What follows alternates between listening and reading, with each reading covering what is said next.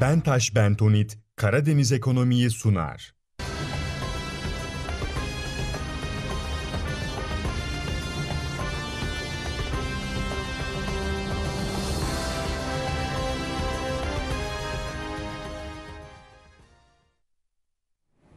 Murat Gürsoy'la Karadeniz Ekonomi Programı'ndan herkese iyi akşamlar. Her hafta bu stüdyolarda ülkemizin ve bölgemizin kalkınması adına değerli sanayicilerimizi, iş insanlarını ve konunun uzmanlarını konuk etmeye devam ediyoruz. Bu hafta da stüdyoda çok değerli bir konuğum var. Karadeniz'in yükselen kutup yıldızı adeta. Sizin de çok yakından tanıdığınız Bentaş Bentonit CEO'su, aynı zamanda ekonomist Sayın Turgay Ömür stüdyoda konuğumuz. Efendim programımıza hoş geldiniz. Hoş bulduk Murat Bey. Teşekkür ediyoruz. Sağ olun. Tabii çok bu yoğunluğun arasında bize zaman ayırdınız. Teşekkür ederiz. Gerçekten e, bir taraftan önemli yatırımlar var, ekonomide önemli gelişmeler var. Bu ekonomide gelişmeleri soruşam ama öncelikle e, firmayla başlayalım. Çünkü firmada Karadeniz'in yükselen kutup yıldızı, çok önemli yatırımlar var, gelişmeler var, e, önemli başarılar var, yine ödüller var. Bunları sizden dinleyelim. En sonki gelişmeleri bir dinleyelim. Sonra ekonomi sorularına geçeceğiz. Tabii ki yani firmamız e, kurulduğu günden 2007'den bu yana e, işte e, 2007'de kurulduk ama 2009'da tabii yatırımı tamamlayıp yaklaşık 13 senedir e, Türkiye içinde ve yurt dışında e, ihracatla beraber e, gerçekten her sene cirosunu, istihdamı e, artıran bir firma. Zaten Türkiye'de bildiğiniz üzere lider konumdayız. Avrupa'da da gene e, e, konumumuzu her geçen gün güçlendiriyoruz. E, Almanya başta olmak üzere bütün Avrupa e, piyasasında kendi markalarımızla olsun, e, market zincirlerinin markalarıyla olsun e, büyük atılımlar içerisindeyiz. Bunlara yetişmek için kapasitemizi artırmak, hem paketleme noktasında hem granül kapasitemizi artırmak noktasında e, çok e, yatırımlar yapıyoruz. E, ki e, bu sene gene e, inşallah 5. tesisi e, Fatsa'daki yerleşkemizde 5 ve 6'yı planlıyoruz ama orada Evet. işte bir e, Sanayi Bakanlığı'ndan bir izin bekliyoruz. E, yaklaşık 6-7 ay oldu. Bir izin çıkmadı. Çıkarsa inşallah orada da hemen 6'yı 5'i kuracağız. Hemen arkasından da 6'yı kurmak adına e, fizibilitemizi yapacağız. Yani kurarken 5 ve 6'yı e, planlayacağız ama önce Evet. tabii 5'i kuracağız orada. E, Nevşehir yatırımını biliyorsunuz zaten. Nevşehir yatırımı e, şu anda hazırız. Yer arıyoruz. E, o da bitmek üzere. Yeri bulur bulmaz oraya da e, bir tesis yapacağız. Ama tabii o Bentaş'ın bir bağlı ortaklığı şeklinde. KB Bentonit diye bir firmamız var Nevşehir'de. E, ama merkezi gene e, Fatsa. Fatsa. Fatsa ama %70'i bizim e, hissedarı olduğumuz bir firma. Çok Tamamen güzel. bizim yönetimimizde ama e, o madenin sahipleri de bizim şirketimizin ortağı olmuş olacak. E, böylece biz dört tesisle üretim yaparken sadece Bentonit'te ki normalde beş tesisimiz var şu anda mevcutta. Doğru. Diatomit'te sayarsak Ankara'dakini. Bununla beraber 6 tesise çok yakın bir zamanda yani %50 bir Bentonit'te kapasite artışına her an gidebiliriz. Burada e, beklentimiz Sanayi Bakanlığı'nın bir an önce onayımızı verip yer tahsisini e, verip satın almamızı yapıp e, yatırıma başlamamız. 5-6 Yani aydır için bekliyoruz herhalde. 5-6 aydır bekliyoruz. Yani bu e, üzücü olan taraf o. Bürokratik engeller Aynen öyle. Yani ne yazık ki bu bürokratik engelleri yani biz e, illa bir milletvekilliğini aracı mı koşmamız Evet. lazım? Yani biz sanayiciyiz. Yani biz Tabii. inanın yatmaya yetiştiremiyoruz. E, Evet. O kadar çok işimiz var ama biz siyasilerin peşinde gitmememiz gerekiyor. Yani Tabii. bunların otomatik bir mekanizmayla e, halledil- halledilmesi gerekiyor. Gerçi e, Cumhurbaşkanımız hani bu bürokrasiyi azaltalım, azaltmak için çok gayret ediyorsa da Evet. bürokratlar hep kendileri korktuğu için mi artık ben de eski bir bürokratım Evet, yani siz de- böyle hareket etmede biraz zorlanıyorlar. Yani illa sıkıştırmanız gerekiyor gibi. Ee, inşallah o e, izin çıkarsa e, yatırımlarımızı çok çok hızlandıracağız. Yani biz hazırız. Kredileri bile hemen hemen Çok hazır güzel. e, bu noktada. Ee, diğer şeylere siz mi geçersiniz Tabii sorulara? tabii şöyle şimdi e, şu anda firmanın çalışan sayısı ve ihracat yaptığı ülke sayısı ne oldu Turgay Bey? Bunları Şimdi en son işte dergide yayınladınız. Evet, işte yayınladım. 60 ülkeye ihracat yapıyor diye. Tabii ki 70 ülke şu 70 anda aşmış durumdayız. aşmış Sadece 60'dan fazla ülkede bizim markamız Evet. satılıyor. Doğru. Ee, işte bunun yanında diğer 4-5 tane daha marka yönetiyoruz. Onların da gene sadece bir iki tanesinde e, ihracat vardı. Şimdi onların hepsini de ihracata at- açtık ve şu anda toplam 4 markamızda artık e, diğer ülkelerde satılmaya başladı. Önceden iki markamız satılıyordu. Şimdi Çok dört güzel. markaya açtık onu. Yani yolundan diğer markalarımız da inşallah gidecek ve hepsi 60-100 ülkeye e, ülkede Çok iyi. satılabilir, distribütörler vasıtasıyla satılabilir bir konuma e, gelecektir. Evet. Şimdi güzel gelişmeler devam ediyor. Yatırımlar devam ediyor. Bir taraftan da yine e, yanılmıyorsam OSB'nin Yıldızları araştırması sonuçlandı. Ve Türkiye'de de incelenen 25 bin marka arasında Kasım ayında önemli bir sonuç çıktı. Bunları da sizden bir dinleyelim isterseniz. Şimdi e, e, Boom Social diye e, Evet. bu e, Facebook, e, e, Instagram ve Twitter'da yapılan e, etkileşimin sonuçlarını yayınlayan bir e, kuruluş. E, Türkiye'de 24.800 tane marka arasında e, ilk yüzü e, seçiyor. Yani daha doğrusu bu yani onu tamamen 24 bini de sıralayabiliyor ama ilk yüzü yayınla, yayınladı. Tabii. İlk yüz arasında e, biz hani 50-70 arasında yer alıyorduk. İlk defa Kasım ayı itibariyle e, 19. sıraya yerleştik. Çok güzel. Yani e, Türk Hava Yolları bile bizden iki öndeydi. E, bu da Evet. tabii bize gurur veriyor. Yani gerçekten ha e, bunu yaparken tabii hem marka bilinirliğimizin önde olması hem de bu alana yatırım yapmamız. Yani Tabii. sosyal medyada markamızı üst düzeye çıkartabilmek için müşteri memnuniyetini tam karşılayabilmek adına e, daha da iyi markayı öne çıkartmak adına bütçeler ayırıyoruz. Bu bütçelerin de tabii Tabii. e, e, ürünün kalitesinden dolayı etkileşimin verdiği bize bir sonuç. E, hatta e, biraz Twitter'da geriyiz. Çünkü Twitter e, biraz e, geç başladık reklamına. Biz Evet. 3 senedir Facebook'ta e, Facebook'ta e, sosyal medya olarak yatırım yapmıştık. İşte 2 sene önce Instagram. En son bu sene de Twitter'a başladık. Çok güzel. E, zaten Face'i tek başına ele aldığınız zaman 19. değil, Türkiye 8.siyiz. Türkiye 8. Tabii. Ama üçü birden olduğu zaman Türkiye 19.sü ortalama olarak düşüyor. Ee, hızlı tüketim sektöründe, sektöründe ise Türkiye'de birinciyiz. Çok güzel. Yine mam- e, pet sektöründe de Türkiye birincisiyiz. Pet sektöründe. Tabii tabii yani markalar Çok iyi. E, ama bizim için pet sektörü zaten sürpriz değil. Zaten pet sektörünün e, Tabii. iyi bir konumdayız. Ama hızlı tüketim sektöründe yani makarna üreten firmalar arasında maya üreten yani o hızlı para, e, süpermarketlerde hızlı satış konu olan işte koladan tutun ne bileyim e, mayasına kadar e, makarnalara kadar o segmentte de Segmentte de. birinci olmamız bizim için çok değerli. Çok e, güzel. Çok gurur kaynağı verici bir olay. Şimdi firma dediğim gibi Karadeniz'in yükselen kutup yıldızı ve bu arada siz de hem yurt içi yurt dışı fuarlara da önem veriyorsunuz. Zaman zaman Türkiye iç- içinde olanlara biz de e, katılıyoruz, görüyoruz sizi. Yurt dışına da sürekli gidiyorsunuz. Fuarları da değerlendirelim hem yurt içi hem yurt dışı. Tabii yurt içinde bu sene bayağı yorulduk. Üç tane Evet. fuar vardı. Bir tanesinde siz de misafirimiz oldunuz. Doğru. Ee, beraber e, güzel e, dakikalar da orada Evet. geçirdik. En azından ne yaptığımız orada bir de fiziki ortamda daha da güzel bir ortamda görmüş oldunuz. beraber. Ee, yani biz Türkiye'deki e, fuarlara yaklaşık 13 senedir hep katılıyoruz. Yani minimum e, bir defa düzenliyoruz ama bu sene pandeminin de verdiği arayla beraber Evet. birkaç fuar firması e, e, atağa geçerek 3 adet pet fuarı düzenlendi. Biri İzmir'de, ikisi İstanbul'da olmak üzere. Biz hiçbirini kırmamak adına bu sene üçüne de katıldık ama biraz yordu bizi. Evet. Bir de onun hemen akabinde e. İtalya'da bir fuar vardı. O da iki senedir yapılmıyordu. Onu da katıldık. O da çok başarılı geçti. Yani bu fuarlar zaten bizim olmazsa olmazımız. Aslında bizim hani fuarlarda şu anda bizim müşteriye ihtiyacımız yok. Evet. Ama işte e, firmanın var olduğunu, yeni Tabii. ürünleri orada tanıtma fırsatı buluyoruz. Mevcut müşterilerle yeni ürünlerimizi tanıştırıyoruz.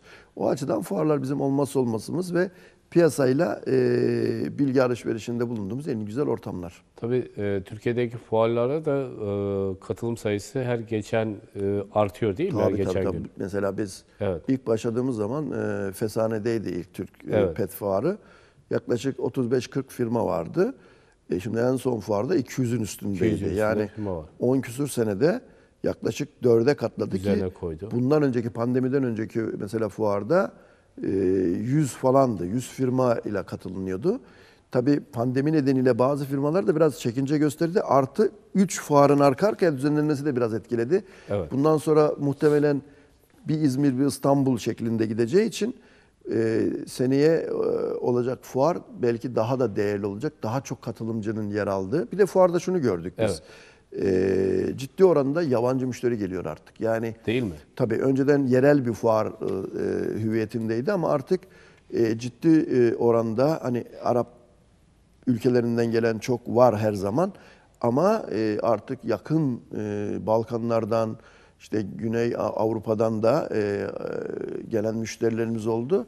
E, bu da bizden ziyade sektörü sevindirici bir olay. Çünkü artık Türk mallarına bu pandeminin de etkisiyle biliyorsunuz Çin'den sonra büyük Tabii. bir rağbet var. Çok doğru. Bu rağbetin uzantısını da biz pet sektöründe gördük. Zaten o fuarlara katılmasak bile bize şu anda her gün mail adresimize, infomuza gelen e, şeylerle uğraşmamız da mümkün değil. Yani onlarla karşı yani onların taleplerini karşılamamız bile mümkün değil yani. değil. Çok büyük bir rağbet var Türk ürünlerine. Hele de kaliteli yapılıyorsa biz de onlardan bir tanesi e, çok yoğun ilgi e, ve talep alıyoruz. Çok güzel. Ee, zaman zaman sizin Antalya ziyaretleriniz de oluyor. Sektörün Antalya'da ne tür organizasyonları var? Valla şimdi tabii Antalya e, aslında pet sektörü e, İstanbul başta, İstanbul ikincisi Ege başta. bölgesi, Evet. üç Ankara, Doğru. dörtte Akdeniz. Akdeniz. Yani Karadeniz hani bizim Evet. bu bölgelerimiz biraz daha hani az revaçta. Doğru. Ama yavaş yavaş son iki senedir burada da kedi köpek sayısında, evcil hayvan besleyenler sayısında bayağı bir artma var. Sosyal sorumluluk projeleriniz de var sizin. Tabii tabii. Evet. Sosyal sorumluluk projeleri e, yapıyoruz. Çeşitli e, kuruluşlara o konuda e, yardımlarımız olabiliyor. Hem bizim elimizde hem distribütörlerimiz elimiz eliyle. E, biz tabii üretici bir firmayız ama bu üretimin yanında da e, Türkiye'de herkes bizim ürünlerimize e, ulaşamıyordu. Bazı distribütörlerimiz hani bizim markamızı e, iyi pazarlayamıyordu. O güçleri yoktu. O güçsüzlüklerini biz görünce biz önce İzmir'e bir depo açtık. Ee, güzel. sonra orada başarılı olunca Ankara'ya açtık. Orada başarılı olunca e, İz- e, Antalya'ya açtık ve dolayısıyla ortağımı da zaten bu EFT pazarlama diye kurduğumuz firmada İstanbullu bir e, müşterimle beraber pazarlama firması olan bir müşterimle ortak sıfırdan kurduğumuz bir firma ve o firma sayesinde de şu anda Türkiye'nin zengin ya da talebin fazla olduğu büyük şehirleri ve bölgeleri şu anda kavradık. Yani şöyle söyleyebiliriz. Türkiye'nin pet sektörünün şu anda %70'ine hakimiz. Çok yani güzel. dört depoyla beraber yaklaşık 10 bin metrekare kapalı alan yarattık. Ee, ve bu e, kapalı alanlardaki çalıştırdığımız e, personel ve e, plaserler vasıtasıyla tabii onlardan altına da e, dağıtım araçlarını verdik. Yani şu anda Tabii. EFT pazarlamanın yaklaşık 21 tane aracı var, dağıtım aracı Çok var. güzel. Ee, tam pandemi e, e, bunu da bu döviz patlamadan Evet. biraz önce yaptığımız için işte geçen sene yaptığımız için e, şu anda o yaptığımız yatırım daha da değerli oldu. Niye biz Tabii. atıyorum sadece o 21 araca 4 milyon para yatırmıştık. Şu anda o bile 10 milyon oldu. 10 yani milyon şu anda o yatırımı yenilemeye Evet. kalksak 10 milyon. 10 milyon. Yani e, erken yatırım yapmanın da avantajını böylece bir nebze görmüş olduk Görmüş yani. olduk. Şu anda e, iyiyiz. Beklediğimiz çuvaların hep üstündeyiz. Yani bu sene e, şöyle söyleyebilirim belki pazarlama firması olarak sadece kendi markalarımızı da satmıyoruz Evet. orada. Başka mesela Alman Boş Alman. ve Sanabel e, Boş güzel. kedi Evet. köpek maması, Sanabel e, ke- kedi maması olmak üzere Türkiye'deki yine kaliteli başka markaları gene oradan satabiliyoruz. Çok güzel. Ve- Zaten Avrupa'nın en büyük marketlerinde ürünleriniz satılıyor. Tabii tabii aynen öyle. E, zaten o Almanya'daki bizim e, Kedi Kumu'ndaki başarımız bu e, Alman firmasına bizi e, öne çıkarttı ve Türkiye Çok distribütörlüğünü e, almış olduk ve e, gerçekten e, orada güzel gidiyoruz. E, yani e, diyebilirim ki iki yıl içerisinde pet sektöründeki en büyük dağıtım firması olmaya aday bir firma kurduk. Çok yani şu anda da belki ilk 5 firma arasındayız dağıtıcı firma olarak. Ama bunu iki yıl içerisinde inanıyorum ki ben arkası varsa Evet. Çok e, iyi. biz ilk 1-2'ye sokacağız yani. Çok güzel. Bir taraftan da takip ediyorum. Ee, çok sayıda hayvan hastanesi de kurulmaya başladı. Ordu'da da kuruldu. Tabii, Bunu tabii. nasıl değerlendiriyorsunuz? Şimdi pet sektörü tabii Evet. büyüyen bir sektör. Evet. Dünyada da büyüyor. E, Türkiye'de çarpan etkisiyle daha da fazla büyüyor. Daha da Çünkü e, dünyadaki ortalama pet sektörünün büyümesi %1-2 civarındaydı. Bu şu anda 5-6'ya çıkmışsa 5 katına. Evet. Türkiye'de %5-6 büyürken bu o %30'lara çıktı. Doğru. Yani bu ciddi bir rakam. 3 yılda e, e, sektörün ikiye katlaması demek. Tabii. Ya bu e, Türkiye için çok önemli bir avantaj ve bu da bizi yakın zamanda zaten e, pet market için de üst yapacak Avrupa'ya. Tabii. Biz zaten kedi kumunda şu anda Türkiye bir üst. Özellikle Fatsa yarası bir üst. Tabii. Ama bunu Doğru. kedi yatağından, köpek yatağından tutun çeşitli oyuncaklara kadar, plastik oyuncaklara kadar, e, kuş yemlerine kadar, akvaryumla ilgili e, aparatlara kadar bunların hepsi e, Türkiye'de önemli bir ihracat kalemi haline gelecek. Geliyor yani. Çok güzel. Turgay Bey, firma devamlı yatırım e, yapıyor. Devamlı önemli başarılar var. E, bir taraftan da e, mesela firmayla ilgili e, önemli hedefler var. Mesela bunları toparlarsak gelecekle ilgili neler söylemek istersiniz? E, zaten yaptığımız Evet. e, yatırımların ve ürettiğimiz ürünün kalitesi noktasında e, ciddi geri dönüşler alıyoruz. İşte en son e, deminki sorunuzu atladım aslında. Evet. Ee, Türkiye'deki organize sanayiler e, organize sanayilerde yaklaşık 500 e, firma e, Evet, arasında biz işte 150. firma olduk e, büyüklük olarak. Çok güzel. O sebebenin Ee, parlayan o sebeple yıldızları. yani evet parlayan yıldızlar arasında ama orada dijital yatırıma en çok yer veren firma 15 güzel. milyon TL ile. Yani biz sadece bu sene dijitalleşmeye, bunun içinde ne var? Robotik sistemler, Tabii. otomatik konveyör taşımalar, yazılımlar, kamera sistemleri. Yani bir şeyi el değmeden mükemmel yapmak adına e, takip sistemlerinden, yazılımlardan tutun dediğim gibi robotlara kadar e, yatırımlar yapıyoruz. Şu anda e, mesela bir robotik sistem daha kuracağız. Evet. İnşallah yani tam otomasyona doğru gidiyoruz. Burada da e, 500 organize sanayi firması içerisinde bizim birinci olmamız dijitalleşmede Çok güzel. e, e, çok Gerçekten önemli bir e, bizim Çok için önemli bir durum. e, durum. Evet. Turgay Bey, e, hafta içinde açıklamanız da oldu. Ekonomiyle ilgili konulara da geleceğiz. E, doğalgazdaki gelişmeleri tenkit ettiniz bir sanayici olarak, haklı olarak. E, neler söylemek istersiniz? Yani e, yapılan çalışmalar heba ediliyor. Doğalgazdaki gelişmeleri. Yani Evet. şimdi aslında tabii e, bir yere kadar anlayabiliyoruz. Evet. Yani e, dünyada bütün ham maddeler artıyor. Yani bu vaka. Yani e, petrol artıyor, Tabii. doğalgaz artıyor, plastik ham maddesi artıyor. Yani Mısır'a kadar yani ürettiğimiz mısır pir- Tabii. pirince kadar uluslararası fiyatı yükselir ama son dönemde tabii e, doğalgaz özellikle Evet. e, dünyanın yanlış politikasıyla, yanlış yönlendirmesiyle e, üzerinde çok oynanar oynanan bir e, meta haline geldi. Özellikle doğalgaz ve petrol yine. Doğru. Doğalgazda %300'lere kadar e, gerçekten yurt dışında artışlar oldu. E, tabii ki bunun Türkiye'deki e, sanayi kuruluşlarına yansımaması mümkün değil. Tabii. Ama orada yapılan şu, yani hane halkına e, zam yapmamak adına bütün o, e, sanayicilere Evet. bunu eşit miktarda kullandırılırsa bir problem yok. Biz de bütün atıyorum kedi kumunda e, kullanılan e, birim fiyatı tek eşit yaparsa rekabet avan, dezavantajı yaratmazsa bizim için sorun yok. Tabii. Ama ne yapılıyor? Yatırım yapan firmayı cezalandırırmış gibi Evet.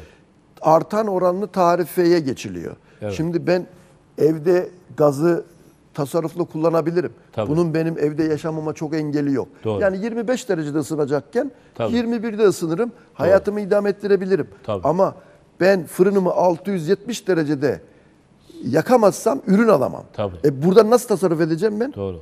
Ben yeni bir tesis kurarak niye cezalandırıyorum? Üç tesisin kuruluşuyla e, yaptığı sarfiyatla dört tesisin çalışmasının sarfiyatı aynı mıdır?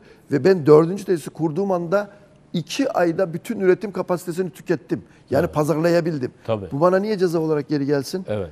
Ben 1.7 TL'ye e, Fatsa'da doğalgazı kullanırken geçen sene bu 1.6'lara kadar da geriledi. Hatta 1.54'lere kadar. Doğru. Ankara'daki tesisimde de ben bunu aynı fiyatlarda tüketiyordum. Halen de orada %10 artış gördü. Onların sınıfı farklı diye. Evet. Burada 1.70'den 3.6'ya geldi. Aslında 1.54'ten 3.6'ya geldi. Doğru. Metrekübü gazın. Evet. Ve şu anda Aralık ayında da bu 5.4'e gelecek. Doğru. Bakın 1.7 neresi 5.4 neresi. Ve bunu yatırım yapan firma daha pahalı ödüyor. Çok kullandı diye. Doğru. Ben çok kullanıyorum ama çok ürün yapacağım ve çok döviz geli getireceğim. Tabii. O zaman benim en son yaptığım tesisin daha maliyetli olmasının bu Türkiye'ye ne faydası var? Evet. Var mı? Yok. Yok. Yani. E, ölçek büyüklüğüne de aykırı. Doğru. Firmalar niye ölçek büyütürler? Daha rentable bütün dünyayla rekabet edebilsin diye. Tabii. Ama benim yaptığım yani şu anda doğalgazı daha pahalı kullanarak e, benim uluslararası rekabet gücüm kırılıyor. Doğru. Bunun Türkiye bunda Türkiye'nin bir kazancı yok ki. Tabii. Dolayısıyla biz burada adil olsun istiyoruz. Pahalıysa herkese pahalı. Hiç önemli Evet. değil. Biz sanayici olarak hane halkının gazının bedelini de bize yansıtsınlar. Önemli değil. Ama Evet. A firmasına aynıysa B firmasına da aynı olsun. Tabii. Çimento sektöründe de aynı olsun. Bilelim biz maliyetimi. Tabii. Bütün. Yani şimdi şöyle düşünün. Ee, Samsun'daki çimento fabrikası 1 liraya kullanıyor. Ankara'daki 1,5 liraya kullanılıyor. Rekabet olabilir mi burada? Tabii. Bu aykırı rekabet haksız istiyor. rekabet yaratılıyor. Doğru. Yani BOTAŞ'ın burada Evet. bu artan tarifeyi kullanması ve ben bunu e, EPTK'ya da yazdım. Evet. E, Cumhurbaşkanlığı sitesi vasıtasıyla, e, CİMER vasıtasıyla EPTK'ya bu e, şeyimi de yaptım. Olumsuzluğu E, bildirdiniz. olumsuzluğu bildirdim. Bunun düzeltilmesi gerektiğini bildirdim. Bana gönderilen yani firmamıza gönderilen cevabı yazıda Evet. bunun kendileriyle alakası olmadığını, altyapısı e, altyapımızı kim yapmışsa onların e, e, bunu Maliyetlendirmesi. serbestçe belirlediğini maliyetlerle beraber iyi de biz 3 tane tesis iki sene önce şey yaptık. Tabii. 2 yıldır amortismanı neyse o yatırımın aynı. Doğru. Hatta benim amortismanımın daha az olması lazım. En ucuzu ben kullanmam lazım. Doğru. Çünkü iki senedir zaten kullanıyorum doğalgazı. Tabii. E, dolayısıyla e, bizim gibi yeni yatırım yapan firmalara böyle e, en son tarif eden e, yük vurmak e, doğru, Doğru değil ve bu değil. haksız bir uygulama. Evet. E, herkese eşit olsun hiç Tabii. sorun değil. Doğru. Yani burada haksız rekabeti önlemek lazım. Aynen öyle. Doğru. Olması gerekiyor. Yani burada Bunun da altını e, çizelim. yani BOTAŞ'ın ve onun dağıtıcı firmalarının Evet, yani mutlaka. şapkayı e, önüne koyup iki defa düşünmesi lazım. Evet. Bu bizler için çok önemli. Biz yatırım kararı aldık. Sanayi Bakanlığı'nı bekliyoruz onaylayacak diye. E, gaz kaçtan kullanacağımı ben bilemiyorum. Çünkü ben yeni yatırım yapıyorum diye e, benim e, atıyorum Ankara'daki rakibim benden avantajlıysa bu nasıl bir Evet. nasıl olacak? Bu Nasıl yatırım haksız kararı vereceğim ki? Karar veremiyoruz lazım. karar verici Tabii. olarak. Yatırımcı Dolayısıyla bunun bir an önce düzen, düzeltilip e, artık her sektöre e, Eşit. eşit Tabii. şekilde Doğru. bir e, dağılımın yapılması lazım yani fiyat noktasında. Evet, bu haksız rekabetinde giderilmesi gerektiğini buradan seslendirmiş olalım. Sanayicilerimiz ülkemiz için, bölgemiz için çok önemli. Kısa bir reklam arasından sonra ekonomideki gelişmeleri konuşacağız ikinci bölümde. Evet, bu ülkenin sanayicisini, üreten kesimi desteklememiz lazım. Konuğumuz Bentaş CEO'su Sayın Turgay Ömür. Aynı zamanda bir ekonomist. Ekonomide de çok önemli gelişmeler var. Ee, dalgalı kur, döviz bir anda e, tarihi boyutlara geldi. Şu anda da tarihi düşüşlerde. Ama onları konuşmadan önce şimdi e, sizin firmanızın çok çarpan etkisi var. Yani sektör sektör baktığımız zaman lojistik sektöründen yine ürünlerinizi Avrupa'ya, ülke geneline sevk ederken e, palet de kullanıyorsunuz. Çok ciddi bir de bir palet kullanıyorsunuz. E, ürünleri e, limandan mı gönderiyorsunuz? Tabii genelde e, Samsun Limanı'nı kullanıyorduk. Evet. E, pandeminin e, 5-6. ayından sonra bu konteyner krizi nedeniyle Samsun Limanı'nda hem konteyner bulunamadı hem de çok yüksek fiyatlar çekildi. Evet. Bu da bizim e, rekabetimizi çok etkiledi. Şimdi bugünden yarına pat diye fiyat artıramıyorsunuz. Tabii. Yani onlar bir süreç istiyor. Doğru. Yani e, o süreci e, bize olumlu olarak e, deniz nakliye firmaları kullanmadı. Ve biz e, karar alarak Gebze'de bir depo açtık. Yani Evet. bir e, bizim e, çalıştığımız bir acente vasıtasıyla beraber onlara e, dedik ki biz e, yeter ki bizim İstanbul'dan daha fazla konteyner bulma imkanımız varsa Evet. Biz orada sizin tuttuğunuz deponun e, minimum yarı konteyner ihtiyacını karşılayacağız. Yani Biz onlara taahhüt verdik yani. Çok iyi. Yani onların oradaki depoyu açabilmesi için taahhüt verdik. Taahhütte biz bulunduk. e, normalde bütün ihracatlarımızı biz Samsun'dan %95'ini Samsun'dan yüklerken Yüklerken bir anda geçen sene yani 2021 yıl içerisinde %60'ını biz Gebze'ye Gebze'ye kaydırmak koyduk. zorunda kaldık. yani maliyetler oradan daha mı uygun hale geldi? E, aslında çok zor bir operasyon Evet. ama İstanbul'dan daha kolay e, Daha- konteynere ulaşabiliyorsunuz ve oradan daha ucuz Daha ucuz. taşıma, navlun maliyetleri ve e, başka alternatif taşıma şirketleri de bulabiliyorsunuz. Oysa Samsun'da Evet. taşıma alter- firmaları alternatifiniz yok. Yok. Son bir, bir firma daha bıraktı. Evet. E, dolayısıyla bir firmanın eline kalıyorsunuz. O da sizinle oynuyor. Evet. Yani Yüksek bizim maliyetler. üzerimizden çok yüksek karlar elde ediyorlar ve e, bu deniz nakliye firmaları ismini zikretmeyeceğim ama Evet. çok ciddi karlar açıkladılar. Şu anda bunlar e, taşıma sektörüne, karayolu taşıma sektörüne Evet. yatırım yapıyorlar. Yani Bir çağrıda bulunalım onlara Tabii deniz Evet. nakliye firması olarak bizim Türk ihracatçısının, Evet. bizim derken ben kendimi Tabii tabii kastetmiyorum. genel olarak. Türk Evet. ihracatçısının, Karadeniz ihracatçısının Evet. E, hizmetinde olamıyorsanız bunun bir anlamı yok. Tabii. Zaten Karayolu büyük taşımacılığını açıkladılar. Ben bile yaparım. Evet. Ben de yaparım. Benim 5 tane tırım var. Tabii. 15 tane ta- tır alıp alternatif yaratır yaparım. Tabii. Ama siz büyük taşıma firmaları olarak Tabii. Büyük karlar sizin açıkladılar. gemilere yatırım yapıp Evet. bizim önümümüzü, Türkiye'mizin Aşmaları önünü lazım. Açmanız lazım. lazım. Yani e, kar kar nereye kadar? Yani sektöre hizmet edemezseniz, sektörü gebertirseniz Tabii. ne olacak? Siz kendi ayağınıza sıkıyorsunuz. Doğru. Yani sürekli böyle kar maksimizasyonuna gitmek e, doğru değildir. Biz mesela kendimiz olarak yapmadık. Evet. Biz bir sene fiyatlarımızı yurt dışında artırmadık. Özellikle Almanya'da artırmadık. Ama bunun bize bir karı olacak. Tabii. Sürdürülebilirlik ve güvenilirlik noktasında Doğru. Bentaş'a Bentaş'ın önünü açıyor. Evet, açıyor. Güvenilir bir firma. Tabii. Bakın en ufak bir şeyde e, çünkü onların da kontratları var onları biliyoruz. Tabii. Şimdi benim onlarla kontratım var. Onların, marketlerle kontratı var. zincirleme ve yani. tabii yani ben zam yaparsam o yapamayacak. Ben kendi lojistik partnerimi öldürmüş olacağım. Tabii. Ama bana taşıma firması zammın hepsini yansıtıyor. Biz geçen sene ne yaptık? Almanya'daki partnerimizle uluslararası taşıma navlununun maliyetini bölüşmek zorunda kaldık. Evet. Yani kendi içimizde. Bunu biz taşımızın altı- altına elini koy, elimizi koyuyorsak Tabii. bunu taşıma navlun firmalarının da Mutlaka koyması gerekiyor. Çünkü da Türkiye'de bulunalım. çalışıyorlar. Evet. Türkiye'den yararlanıyorlar. Çok büyük karlılıkları var. Açıkladılar. Evet, bu, aynen. Bunu Aynen. mutlaka ihracatçının önünü açmadan kullanmaları gerekir. Kesinlikle, Buradan da bu kesinlikle. çağrımızda bulunalım. Aynen. İnşallah normal e, konteyner eski düzenine kavuşur. Fiyatları daha e, e, rentable hale hale getirirlerse, uygun hale getirilirse biz e, İstanbul'la çalışmak zorunda değiliz. Yani Evet. yüzde 5 çalışıyorduk. Şu anda 60 çalışıyoruz ama yüzde 10-15 çalışırız. Gene yüzde 85 Samsun'dan çalışıyoruz. Bakın bizim günde paketlediğimiz e, ürün sayısı 25 tır. 25 lira. 30'la çarpın. Her gün Her gün. paketleme yapıyoruz. Biz Evet. 24 saat her gün 24 çalışıyoruz. saat her yani gün. 700 konteyner ay. Ay. Çok önemli. Bu çok büyük bir rakam. Tabii. Çok doğru. Dolayısıyla e, biz iki tesis daha kurarsak ne olacak bu rakam? Tabii. Çarpı bir buçuk. Çarpı bir buçuk. 1100 konteyner olacak 1100 ayda. konteyner. Bu Türkiye'nin geliri. Tabii. Yani bizim yaptığımız ihracat bizim Evet. paramız mı? Hepimizin parası. Hepimizin parası. Buradan Aynen öyle. gemi sanayi lojistik firmalarına çağrıda bulunuyoruz. İhracatçının önünü açsınlar. Büyük karlılıklar açıklıyor, açıklıyorlar. Ee, bunu da yaparken şimdi siz bugün Samsun'dan yapmak yerine Gebze'yi seçiyorsunuz. Ee, Bakın evet. belki nav eşit maliyete yapıyoruz. Evet. Sadece buradan taşımamak adına, hani onlara Tabii. alternatif yaratmak adına. Yaratmak adına. Ama devletimizin burada zararı var. Nasıl Evet. zararı var? Tabii. Ben buradan tırımı ya da tır fir- firmasını mazotu buradan İstanbul'a Gebze'ye kadar ekstra mazot yakıyorum ve Ekstra. ona devletim para veriyor. Doğru. Bakın. Yani o mazot bizim devletimizin cebinde kalabilir. Tabii. Yani benim kalmasın. Ama Doğru. devletim o mazotu ithal etmesin. Çok Niye doğru. diyor ki? Tabii.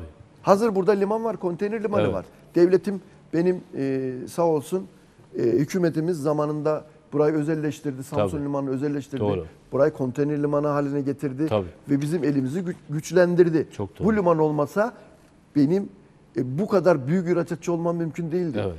Altyapıyı devletimiz yapmış, hükümetimiz yapmış. Tabii. Burada e, problem yok ama bunu işleten firmanın ve burada e, gemi acentesinden tutun e, deniz navlununu e, yani gemi e, taşımasını yapan firmaya kadar herkesin Tabii. Taşın altına elini sokması lazım. E, ihracatçıya yardımcı olması İhracatçıya yardımcı olması lazım. bize değil devletine yardımcı oluyor anlamına gelir. Çok doğru.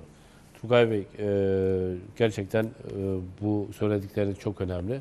Yani bu ihracatçının önünü açalım ki ülkeye daha fazla döviz girsin ve e, burada çok yakında bir liman varken Gebze'yi kullanmak zorunda kalıyorsak birilerinde şapkayı önüne eğip düşünmesi lazım.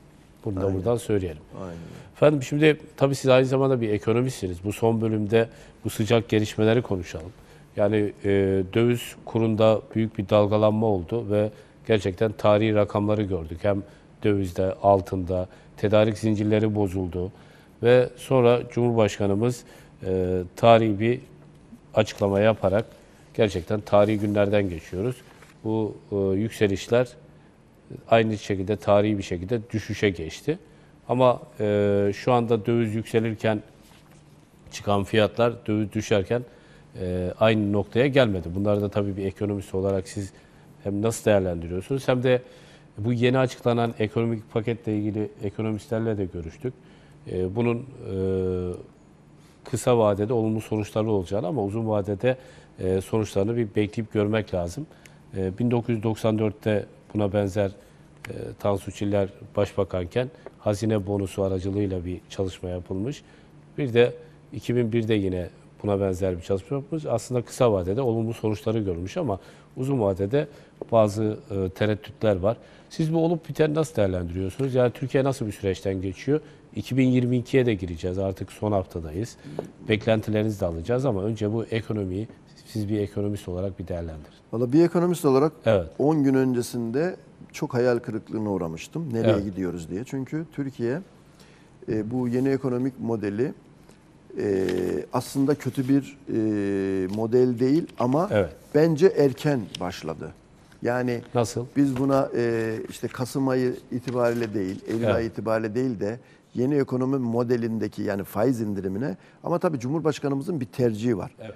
E, bir siyasi gücü var Evet. ve e, zoru başar, başarmayı da seviyor. Doğru. E, dolayısıyla e, e, etrafındakiler bilmiyorum nasıl e, bir e, danışmanlık verdi ama biz e, Kasım ayında 5 milyar dolara yakın fazla verdik. Evet. Yani ithalat atıyorum e, 29 milyar dolarsa ihracatımız 33-34 milyar dolar oldu. Yani sadece Kasım ayında 5 milyar dolar Türkiye fazla verdi. Yani geçen sene e, 175 milyar dolarken ihracatımız Evet. şu anda 220 milyar dolar mertebesinde ve her geçen gün ihracat trendi artarak gidiyor. Doğru. Şimdi bu yeni ekonomi modelinin e, oturduğu şey zaten bu.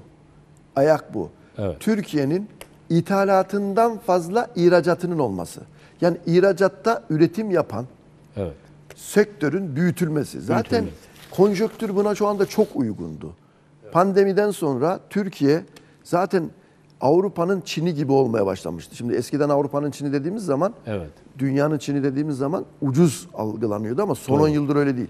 Çin'de çok kaliteli ürünler de yapılabiliyor. Evet. Türkiye'de o anlamda çok kaliteli ürünler de yapabiliyor. İşte bizim mesela kendi içerimizde kedi kumunda Tabii. biz dünya lideri olmaya gidiyoruz. Evet. Ve bunu neyle yapıyoruz? Üre- Ürettiğimiz ürünün kalitesiyle. Kalitesi. Bunun ambalajından tutun iç kaliteye kadar, koku kontrolüne kadar, clamping dediğimiz e, güçlü topaklanmaya kadar. Yani ürettiğimiz ürünü en iyi yapıyoruz ve bunu mobilyada Türkiye başarıyor. Doğru. Tekstilde başarıyor. Deride başarıyor. Yine derinin altında ayakkabı sanayinde başarıyor. E, dayanıklı tüketim mallarında Türkiye zaten çok başarılı. Yıllardır şey. Doğru. e, güçlü. Şimdi bütün bu sektörlerde zaten sanayiciler kapalı gişe oynuyor. Dolayısıyla Evet. e, Kasım'dan sonra bizim fazla vereceğimiz netleştiği için Evet. E, acaba e, tüketici yani son kişiler Nihai alıcı. e, nihai alıcılar e, dövize yüklenmeseydi Evet. bu sistem zaten sıkıntıya girmeyecekti. Evet. Ama e, piyasada bir algı yapıldı Doğru. ve e, işte dolar şu olacak, işte faizler inerse bunu durduramazsınız. Ekonominin matematiği gereği bu. Evet. Ve bir de benim Amerika'da master yaparken öğrendiğim bu yaklaşık 1994 yılını söylüyorum. Mezun Evet. oldum ben Amerika'da ekonomi master'ımı yaptım. Bakın o zaman öğrendiğim bir şey ekonomi matematiklikten o zaman çıkmıştı aslında. Evet. Ekonomi beklentiler Beklentiler üzerine. üzerine kuruluyor artık. Doğru. Eski sistemleri geliş e, bitti. Beklentileri nötrlerseniz ondan sonra matematik çalışıyor. Tabii. İşin matematiğinde bir sıkıntı yoktu ama algı piyasada beklentileri yozlaştırdı. Döviz işte atıyorum e, dolar 8 ise 10 olacak dendi. 9'a geldi Doğru. 11 olacak dendi. Bir bakmışsınız 20'yi konuşuyoruz Evet, ve geldi tabii. Geldi 18 de. 70'leri gördü. Evet. Ve 25'i 25 beklentileri çıktı. Bu sefer 18'den bile hala talep yaratıldı. Doğru. Ama Sayın Cumhurbaşkanımız ve ekibi inanılmazı başardı. yani şapkadan tavşan, Tavşan. çıkartır misal. Çünkü ben Evet. bile ben bile derken hani ben büyük bir ekonomist değilim ama Evet. ekonomiyi çok yakından takip Tabii. edilen bir insanım Doğru. ve severek de bunu yapıyorum. Herkesi dinlerim. Doğru. Ee, Türkiye'deki büyük ekonomistlerin hepsini dinlerim. Tartışma programlarını izlerim. Oradan da kendime bir işler yaparım ve hem de kendi firmamı yönetirken de Tabii. bana bir vizyon olmuş olur. Doğru. Ve bu zamana kadarki dolar yükselişlerinde ben nereden dönebileceğini 3 aşağı 5 yukarı tahmin edebiliyordum ve bana sorana so- söyleyebiliyordum. Evet. Yani atıyorum Euro 9'du da işte gidiyor hala kaç? İşte 11'den dönebilir. Dönmeye de bilir. Çünkü bunu tam profesörü bile bilemez. Tabii. Çünkü beklentileri kestiremediğiniz için. Doğru. Ama hani 11 tahmin ettim de 13'ten döndü. Ne derler? Kazanın doğurduğuna inanıyorsanız öldüğüne, Öldüğüne de inanıyorsunuz. Bir lastik topa bir güç vurduğu zaman zıplar. Tabii. Ona tekrar bir güç vurmadığı zaman o zıplama her seferinde daha küçük olur. Tabii. Ve en sonunda dengeye gelir. Şimdi e, algıyla bir şut atıldı şeye. Faiz inerse matematik olarak durduramayız daha e, dövizi diye. Ve bu satın alındı piyasadaki bütün aktörler tarafından. Ve Merkez Bankası'nın buna 5 defa yaptığı müdahaleler, işte iki tanesi açıklandı şu anda 15 gün sonra Tabii. açıklandığı için. Doğru. Bu müdahaleler biri işte e, 800 milyon dolar, diğeri 500 milyon dolar. Yaklaşık iki müdahaleyle 1,5 milyar dolar e, harcandı. Doğru. Ama inanın bir saat e, ateşi söndüremedi. Bir Söndüremedi. saat tutabiliyor. Doğru. Yani büyük bir ateşe siz e, ufak bir şeyle ne kadar etki yaparsınız? Tabii. E, yetmiyor çünkü hala halkın beklentisi artacağı yönde. Matematik o. Doğru. Arkadan onu o beklentiyi düşüremediğiniz sürece e, onu ateşliyordu. Ama pazartesi akşamı Yeni ekonomik Dövizin- model. Evet. e, mevduatla e, aynı e, oranda yani döviz e, yatırımı yapsanız aynı günde Evet. 3 ay sonra ya da 6 ay sonra dövizden elde edeceğiniz kazançtan sizin mevduat kazancınız eksikse aradaki farkı hazine ben karşılayacağım dedi. Doğru. Bütün bu e, şu andaki modeli güçlendiren aksiyon bu oldu. Bu oldu. Ve bununla beraber mevduatların, TL mevduatların bozulup tekrar dövize gitmesini hükümetimiz, ekonomi yönetimi engellediği gibi mevcut döviz tevdiatlarının da bozulup bu sefer TL'ye Doğru. dönmesini sağladı ve e, dolar 18.70'lerden şu andaki 11'li seviyelere e, geldi. Doğru. Ben inanıyorum. Ben bir ihracatçıyım. Evet. Ben dövizin çok fazla düşmesini istemem. Evet. Çünkü rekabet gücümüzü kaybederiz. Şu andaki seviyeler iyi ama daha da düşerse bizim için kötü mü olur? Evet. Eğer devletimizin elindeki girdiler. Bunlar ne? Motorin, be- benzin, gaz, Tabii, doğru. doğalgaz. Tabii. Ee, ve e, işte elektrik sanayinin kullandığı ne var? Enerji yani. Tabii, Bu enerji. enerji. kalemlerinde dövize bağlı olarak uluslararası piyasanın da yardımcı olması e, mümkünse eğer yani uluslararası ham madde fiyatları yani petrolün fiyatı, Tabii. gazın fiyatı da buna destek olabilirse yavaş yavaş aşağı doğru e, devletimiz de gene sanayicisine uygun e, fiyatlandırma yaparsa bu sefer şu andaki gelen seviyeden de aşağılara inebilir. Evet. Yani ama her inişte devletin faturası da azaldığı için doğalgaz alımında, motorin Tabii. alımında yani petrol alımında onu sanayiciye, halkına yansıtırsa tekrar aşağı yönlü yani enflasyonu besleyen döviz artık enflasyonu besleyen değil, enflasyonun azalımına da yardımcı olur bir pozisyona gelebilir. Bu da çok önemli. Tabii. Peki efendim şimdi e, burada ihracatçının desteklenmesi önemli. Finansa ulaşım çok önemli. Şimdi baktığımız zaman ağırlık hep kamu bankalarına bindi. İşte becaiş e, faiz rakamları açıklandı.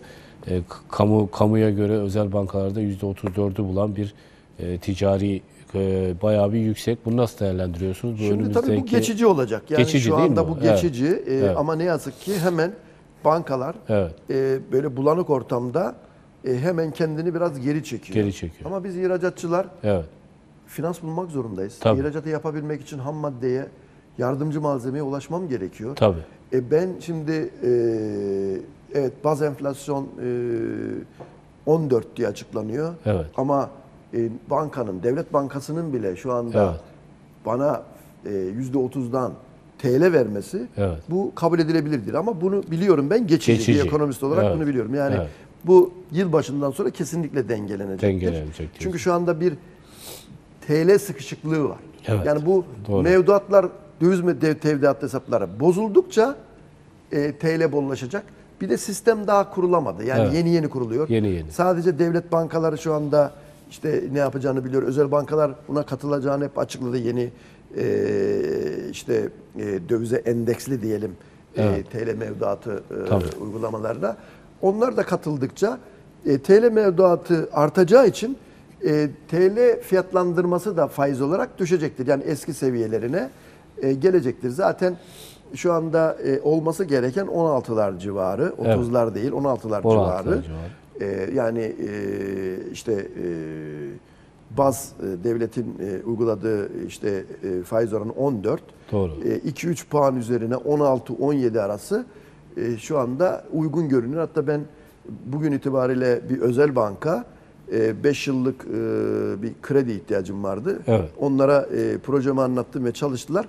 E, büyük bir aksilik olmasa e, 16-17 arasında o krediyi alabileceğiz. Hem de bir Çok yılı güzel. ödemesiz. Yani bu düzelecektir. e, Kız ya bu geçici anlamına. diyorsunuz. Bu geçici bir durum. sonra bu kesinlikle döviz tevdiat hesap- hesapları e, bozulmaya devam ederse ki edecek. Çünkü güzel bir çapa. Evet. Dövize endeksli mevduat. Tabii. O güzel bir çapa olduğu için bu aşağı yönlü gelecektir. Bu enflasyonumuza da olumlu etkide e, bulunacak. E, aşırı e, olan fiyatların geri gelmesine e, yardımcı olacak ama hiçbir zaman eski seviyesine gelemeyecek. Evet. Sebebi de şu. Ben plastik ham, e, yani ambalajda kullandığım plastik Evet. bir buçuk yıl içerisinde yüzde 50 euro bazında Arttı. arttı. Tabii. Karton kutular, kullandığım kağıt Tabii. malzemeler Üç katına çıktı. yüzde 50 euro bazında arttı. Evet. Şimdi bir de euronun, Euronun- doların arttığını düşündüğünüz zaman Tabii. burada yüzde 200'lük bir şey var. Doğru. E, uluslararası doğalgaz çok arttı. Bunlar pandeminin etkisi işte ikinci çeyrekten itibaren Evet. yani Haziran'dan sonra düşeceğine dair şu anda söylemler var. Bunların düşmesiyle beraber bizim de fiyat artışlarımız ancak eski seviyelere gene gelmese de biraz daha aşağıya inecektir. Ama dolar e, işte 9 iken pirincin kilosu şuydu. 18 iken bu.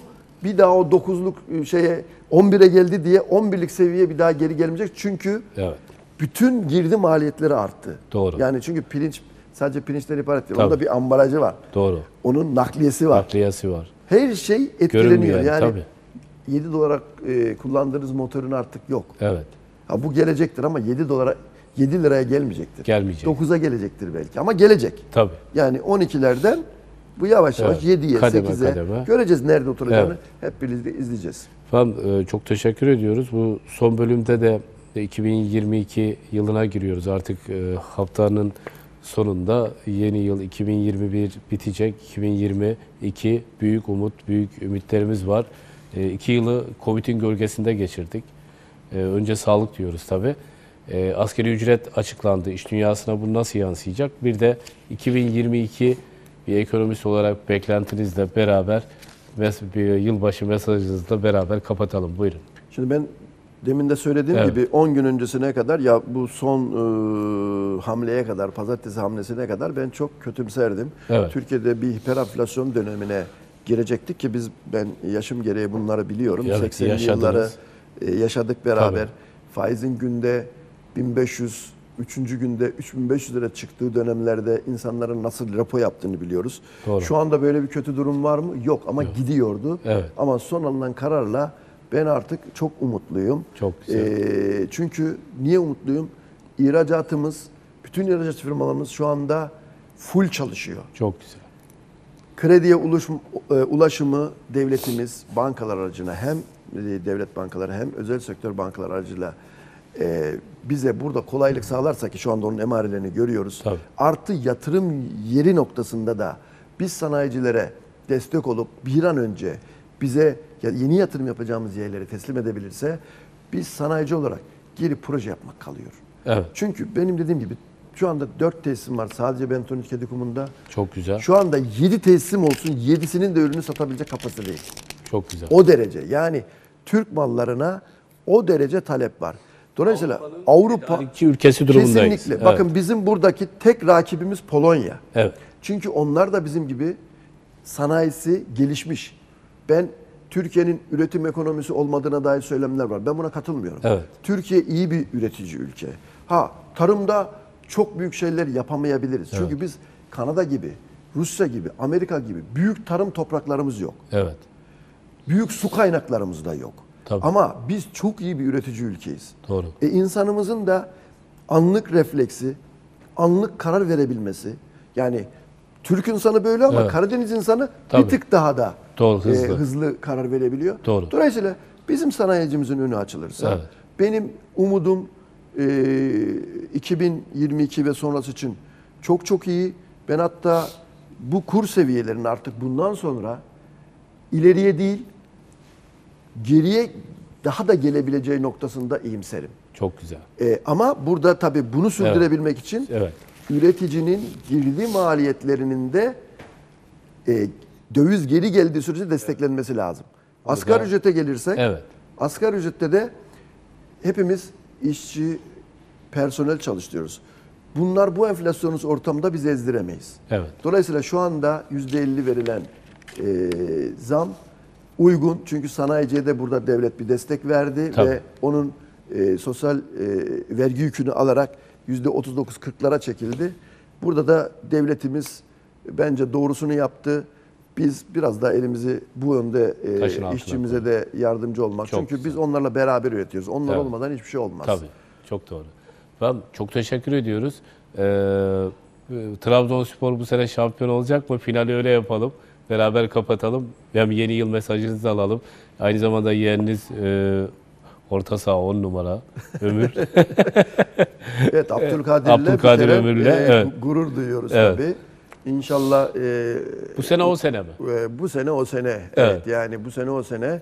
Gerçi sakatlıklar hani e, Evet. yakamızı bırakmıyor Ama, ama, tarihi bir e, bir puan farkı var. Yani bugüne tabii. kadar istatistiklere baktığımız zaman hiç böyle bir farkta kapatılmamış. belki Türkiye'de Evet. ilk defa böyle bir istatistik Evet. oluşuyor. Doğru. Yani 9-10 puanlar e, kapatılmış ama yani bunlar yok. bu akşamki e, maça bağlı olarak Evet. e, belki de e, yani bir kere İstanbul büyükleriyle %50 puan farkımız var. Öyle bakmak lazım. Tabii, tabii. %50. Doğru, Yani %50. öyle puan farkına da bakmamak lazım. Tabii. %50 bir fark var. Doğru. Bu çok büyük bir şey. Yani Avantaj. Avantaj. O zaman bu sene o sene. Bu diyorsun. sene o sene inşallah hep Evet. beraber e, Trabzon'umuz bir e, Evet.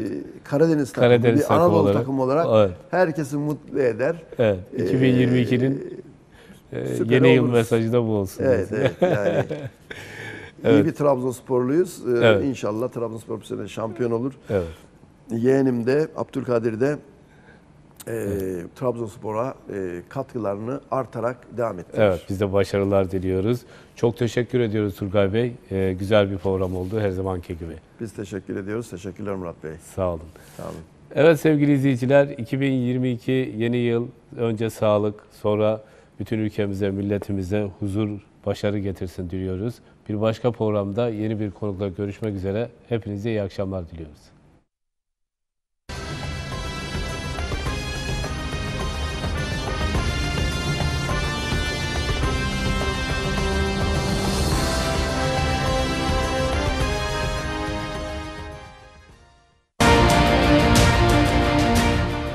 Bentaş Bentonit Karadeniz ekonomiyi sundu.